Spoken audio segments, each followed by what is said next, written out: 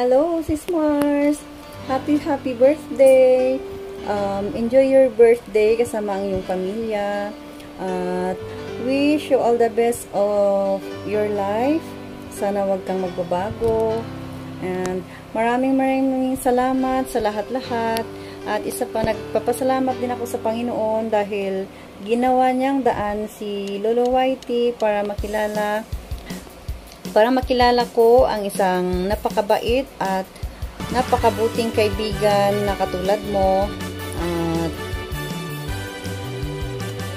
pagpatuloy mo pagpatuloy mo lang ang yung nasimulan sis. And God bless you more sis. Ingat ka palagi at nang dahil sa special day mo ngayon uh, may hinanda akong may kling kanta para sa'yo. Pagpasensyahan mo na lang ang aking boses